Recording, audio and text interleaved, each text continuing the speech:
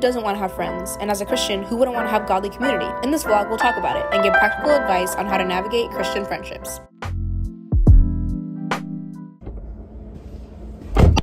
So I'm gonna take you along my day today. I just finished my DMV stuff because I had to renew my license, and I feel like I'm actually getting old because this is my first time going to the DMV by myself, doing grown people stuff. I should be filling up my gas tank, which I will be doing. So when I think about Christian friends, friends in general, you're gonna have to make time to actually talk to them. I realize that as you get older, it's going to be harder and harder to actually make time for them. Um, that doesn't mean they're any less important. Something that me and my friend do, we try once a week to dedicate a FaceTime call to updating each other on our weeks, how we're doing mentally, spiritually, emotionally, physically, all the things, and pray for each other. So I didn't really eat breakfast when I left because I had to leave really early for the DMV, but here I am eating my chipsan bustle. If you're in a season where you feel like you're seeking out new friends, maybe you're starting college, you're starting brand new and fresh, what I would say is honestly think about your future self. So now I'm going into my second year of college and going back to school like makes me happy because of the friends I've already established there. Had I been super closed off, not wanting to have friends, not wanting to even search for them, search for godly community. Current Amen right now would be struggling and would be honestly scared to go back to school because I would not feel like I belong. So in those seasons where you feel like you are alone or you're desperately seeking out godly community, use this time to grow closer to God. There are certain things that happen in our life that God allows so that we can draw closer to him and also becoming the friend that you want to be to someone else. And so what that looks like is genuinely seeking God and spending time with God, being in your word daily, becoming the friend that you want to be. One thing that I started to do literally yesterday, I think it was in my time with God, was I began to think about the fruits of the Spirit. And as I was reading it, I was thinking like, obviously I want to bear all of the fruits of the Spirit, which Galatians 5, 22 through 23 says, but the Holy Spirit produces this kind of fruit in our lives, love, joy, peace, patience, kindness, goodness, faithfulness, gentleness, and self-control. There is no law against these things. And so when I was thinking about it, I was like, okay, obviously I want to bear all these fruits, but let's be practical with it. When I look at my life and from this list of fruits that represent like the Holy Spirit inside of us and Jesus inside of us and you know who he calls us to be. This is just getting cold because I want to talk to you guys. But of the fruits that are listed here, what am I lacking in? Where am I kind of feeling like, okay, I may be doing better in this area, but not in this area. So I listed three fruits of the spirit that I feel like I lack in. And I did self-control, gentleness, and patience. And so what I did was, okay, now that I've recognized this and understood this, I feel like for love, for joy, for peace, like for those things, I feel like I may be doing better, but that may be different for you. It's different for every person, obviously. But what I wrote down is, okay, now how can I work towards bearing those fruits that I feel like I'm lacking in my life. Obviously, great thing, even in the purpose discussion that we had on Sunday, um, I had talked about abiding in Christ, John 15, 4. Obviously, I know I cannot produce any good fruit apart from Christ, so it's gonna be fully relying on his Holy Spirit to help me do that. But I can also focus on taking goal-oriented steps, actionable steps to living this out to bearing those fruits. So I wrote down for self-control, what areas in my life do I need to practice self-control? In what areas of my life do I need to practice gentleness, patience? And so yeah, the conclusion that I wrote in it at the end was literally abide in Christ. Like I want to do these things. I want to grow closer to Christ. And in the context of friends, I want to be this friend to someone else. I want to have someone else that is dedicated, that loves the Lord, that spends time with him daily so that I could just, you know, confide in them as well. So in the book of Proverbs, there's a verse that says iron sharpens iron. And so obviously that takes two sharp things to sharpen each other. If one is sharp and one is not, really only one person is benefiting from it. And I don't want to be in that kind of friendship. There may be certain situations where you're called to be in somebody's life to benefit them, to bless them, to pour into them, to disciple them. And that's awesome.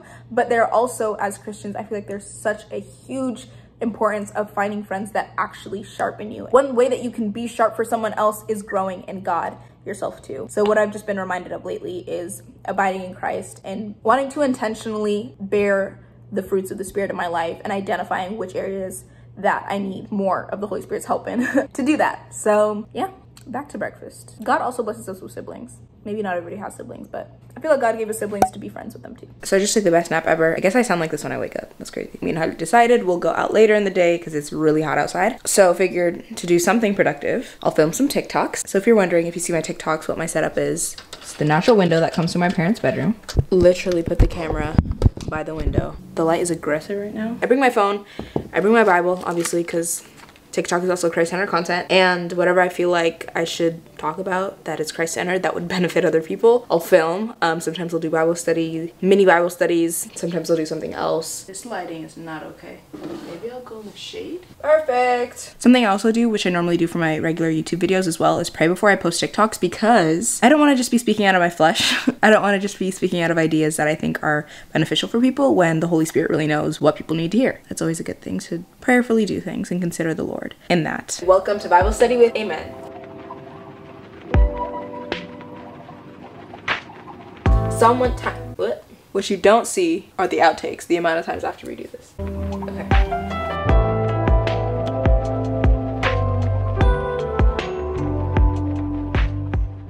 Yay! That makes me so happy. We are getting ready to leave. This dabokolo came like three weeks ago. It's just so good. Let's go do a grocery run, chill, and talk more about friends.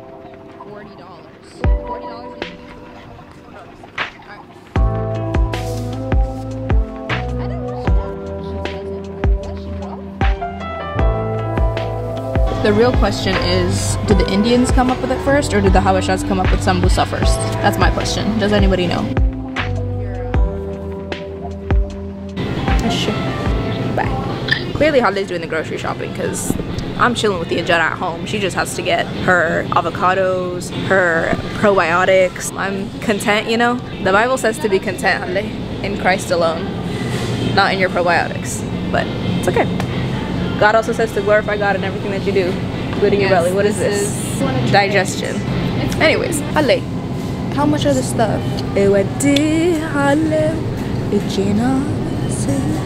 Ale, የሚያስፈልገው ነገር ግዢ እሺ?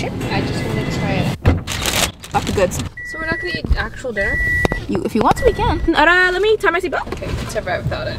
Can I? As Hadley's driving, let's do a little haul of what we got at Barron's. Barron's is basically a Sprouts, but it's like Whole Foods. And we never go here. But since Hadley is the one buying groceries, she's more of a health girly. Right? Anyway, so I was the one who got chips because obviously this was my idea too. We'll be eating this up. And then Hadley, you're gonna need to explain this. But what is this, probiotics? I've literally never tried it, but yeah. But what is a probiotic? It, it's just good for your gut health. It's good for digestion. You know it's good for digestion? Jarat. She got avocados. You want this now? Oh yeah, yeah, yeah. And then we also got, what is this whole? Greek yogurt. Greek yogurt. That's the haul for today. Ara yellow, ara ara You know, what does that song say? I, I like my life. Yes, so do I. Do you?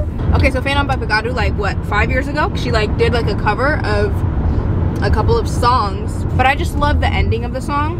I literally had the ending on repeats two days ago. I was literally blasting it until I got home. And when I mean blasting, I literally mean blasting. I'm lucky for green. Miss Ganah. I know the can take it up. Bessie me on ye. Leg you know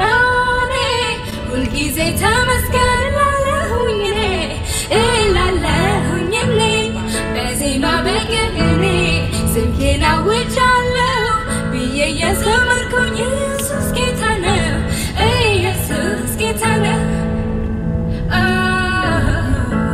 That was my part that I loved. Do you oh, need wow. anything or no? I would get fries, but like I don't need fries in my life right now. Yeah? So we're getting fries.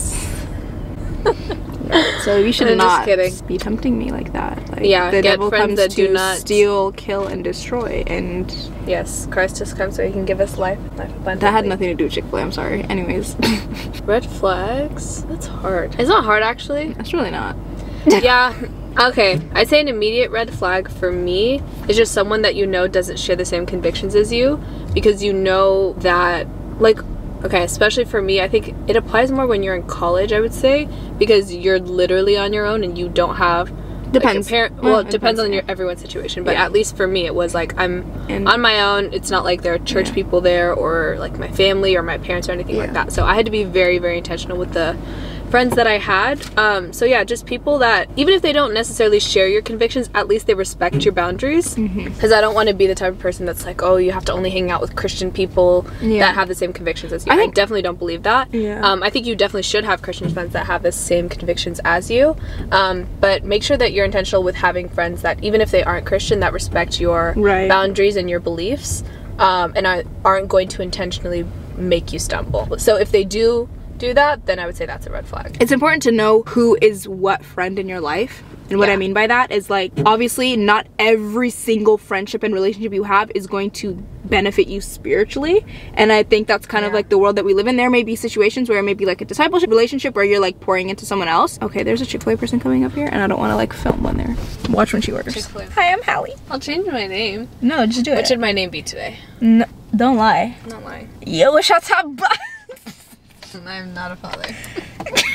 Hello. Take a name for your order. Hallie? Hallie? Yes. Okay, good start for you. And you're all set. Thank you. Pleasure, you guys. Have a great day. Me too. I told you. She's gonna say, My name is Hallie. Because then I have to say my name is Hallelujah and then I have to spell it for them and then they're H gonna A spell it wrong. E L U It's gonna J be A too H. much. I just say my name is Hallie. It's okay. There's forgiveness at the feet of Jesus. My name was Amen, then I would just say Amen. 'cause Amen. it's No, for I them. say amen. Let me not come for you. Yeah, but then I don't have to spell a whole ten. If my name was Amen Gabra Mangad. Gabra Mangat. ገብረ መንገድ መስቀል ሚካኤል የመድኃኒዓለም ጌታ ኢየሱስ ክርስቶስ that would be a That's little an bit- amazing name. I think I'm gonna name my child that.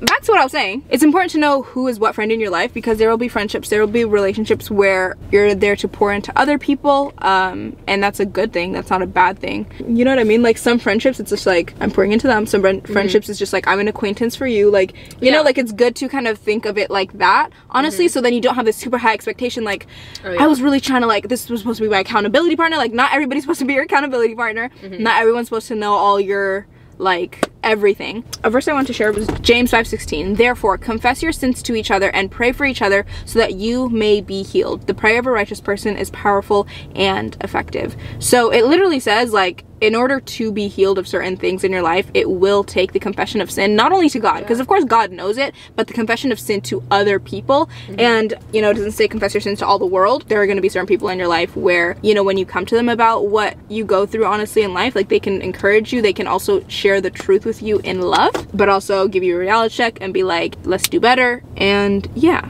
So I realize it's honestly very, very rare to have friendships where you can actually like do that. Also, people say vulnerability breeds vulnerability, and that's because if both people in a friendship are intentionally vulnerable, um, like someone has to start. Basically, someone has to initiate the vulnerability, and when that happens over time, it takes growth. It takes time. Some of the most life-giving and life-changing friendships happen when you are the most vulnerable with them, and they know the entire real you. Because it's honestly kind of sad to live a life where your closest people don't actually know you for who you really are. Um, yeah.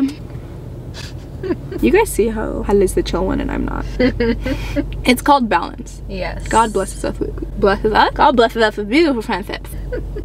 Take a breather. Deep breath in.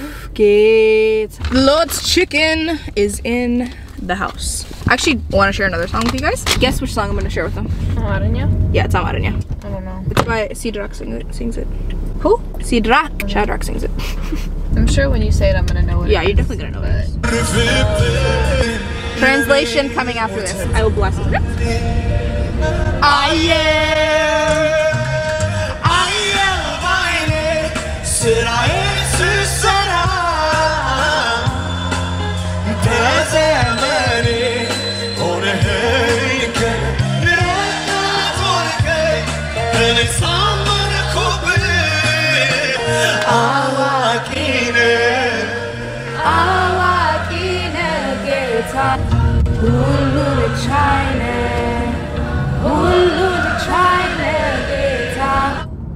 Anyways, that was long, but the whole thing is so good. So Ayo Baine Sarai Sara is I've literally seen with my own eyes you doing my work. It's a little weird when you translate it automatically from Amharic to English. The Amharic version just it's different, obviously. It's a really good song to kind of reflect back on the faithfulness of the Lord in your life. Ulun Chai is like all powerful. It's like thinking back on like how the Lord has protected you and like kept you, Mezmur will always slap. They sang the song called You Will Be Saved by Elevation Rhythm, and we have just been playing this on repeat, like all my friends, and it's been really good. This is your Mezmur worship segment of the vlog. مرز ماري كان